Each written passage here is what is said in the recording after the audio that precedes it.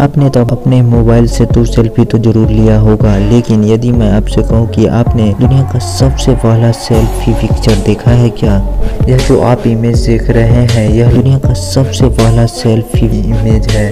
1839 में Robert Cornelius ने दुनिया का सबसे पहला सेल्फी ने ली थी। उस समय सेल्फी लेने में तकरीबन तीन मिनट का वक्त लगता था। ऐसे ही इंटरेस्टिंग और अमेजिंग फैक्ट जाने के लिए हमारे चैनल को सब्सक्राइब ज़रूर करें। मिलते हैं नेक्स्ट वीडियो में एक नए टॉपिक के साथ।